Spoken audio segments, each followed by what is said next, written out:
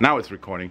So everybody's running around like crazy. Today was uh, World Health Day or something like that in the office. And I've just got the okay from the office manager that all of the healthy stuff that is still available is free to take home. Free shopping at Red Hat. Yay! Go. Ist das Bio? Alles Bio. Echt? Ja.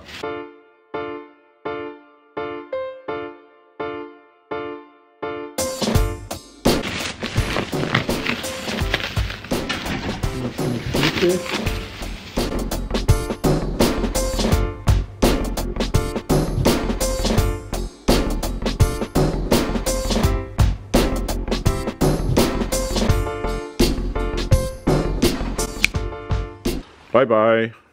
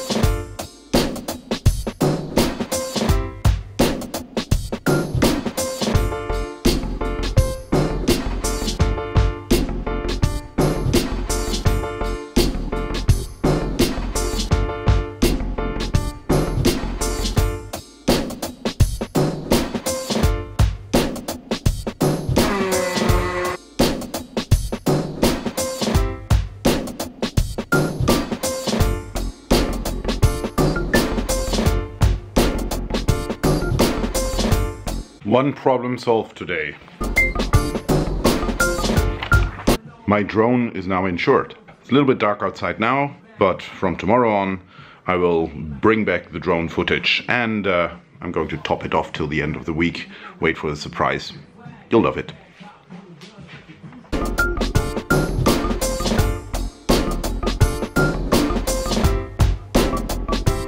And I also went to the government website and I found this uh, neat little infographic what is allowed and what is not allowed when flying a drone in Germany. Here's some th simple things to think about. First, all drones need to have insurance. Get that stuff organized. All the drones above 250 grams need to have in the future some kind of sign, a fireproof sign that gives the name and the address of the owner of the drone. All the drones up until 5 kilogram are free to fly in the areas where flying is allowed. You're not allowed to fly over private property, at least not without the explicit permission of the owner of that property. You are allowed to fly over fields and etc. You have to take care of no-fly zones, uh, so check the maps and etc. to find out if you're near a no-fly zone. You're not allowed to fly over uh, people, uh, you're not allowed to fly over government buildings or industrial complexes, all of this uh, typical stuff. It's all in this nice infographic. When you're a drone flyer in Germany, get used to these regulations, understand them, and follow them because uh, violating uh, these laws can become very expensive and very dangerous. Remember, safety comes always first.